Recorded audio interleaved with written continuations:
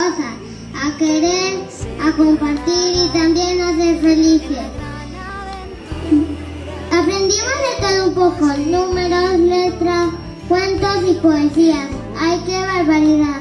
Mamá, papá, gracias por guiarme con cariño y comprensión. Adiós amiguitos, adiós maestra. Debemos avanzar nuestra siguiente maestra. Ah,